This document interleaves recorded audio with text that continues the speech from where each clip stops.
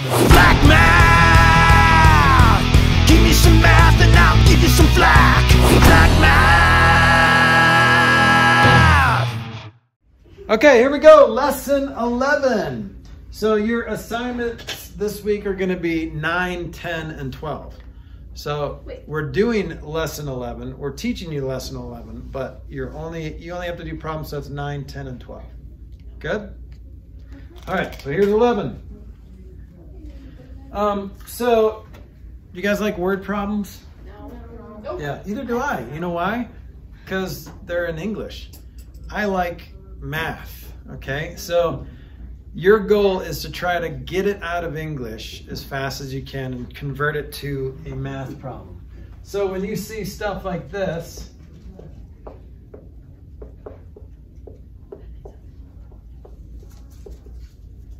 when you see stuff like this, you have some blip, blip, blip, blip, and then you have some more. What kind of math is that? If you have some apples and then you get seven more apples, what kind of a, what kind of math is that? Yes. Addition. Addition. So when you see the word some or some more, or when you see a number, like I have five apples and then I get seven more apples, that's usually addition. But it's just an addition problem. That means that doesn't mean you're gonna add. Okay, let's say you have some apples and then you were given seven more apples and now you have 12 apples. So how do you figure out how many apples you had in the first place? Yeah, You take 12 minus 7 yes, right. whatever you had before. So you get some and then plus some more, and then you have like a total. But sometimes you might be given the total and ask and they would ask what you had to start with or how much you were given. Let's say you had 13 apples and uh, you were given some more apples and then you had 15 apples. So how do you figure out how many apples you were given? Why do we need so many apples? I just had an apple for lunch. It was a, it was a good one.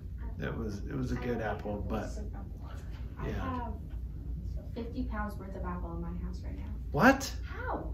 Um, Hey, I'm a teacher. You can bring it to me. That's like a teacher gift. We had a bunch, like 50,000 of mini ones, and I'm just like, Can you bring me one? yeah, sure. 'Cause it's a teacher I could bring gift. the entire school one apple. well, that would be a lot of apples. That's a lot. It is a lot of apples. Okay, so what kind of problem is this? What if you have some blah blah blah and then some went away? What kind of problem is that?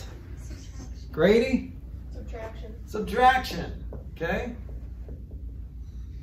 So that could be something like this. Some minus however many went away. And then what you have left. I started to hear a giggle.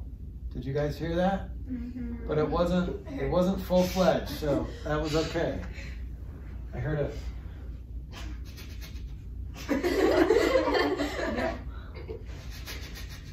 That's what I heard. Don't do that. Don't. You're doing it.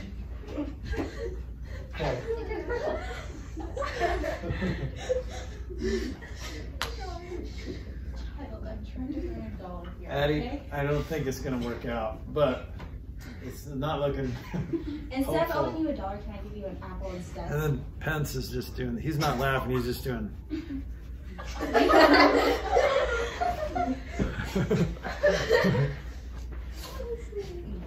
That happens. Sometimes people laugh with their mouths. Sometimes people laugh with their shoulders.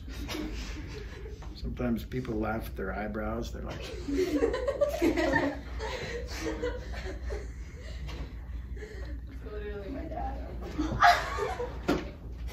okay. Um, here's the deal. This is lesson 11, and that's pretty much lesson 11. Okay. So we're gonna on the same board. We're gonna go lesson 12. It's all lesson 11? So that was lesson 11. So you just need to be able to recognize when something is an addition problem, when something is a subtraction problem, and so on. Yes. Yes. Okay, sometimes I think you're gonna ask some really cool mathematical question, and then you're like, and I'm like so excited that you're like participating, and then Can I go back? can I go to the bathroom, or can you be quiet? Can you quiet down? yeah, You're giving me a headache. Okay, so this is, that was lesson 11. Flack math! Give me some math and I'll give you some flack. Black math!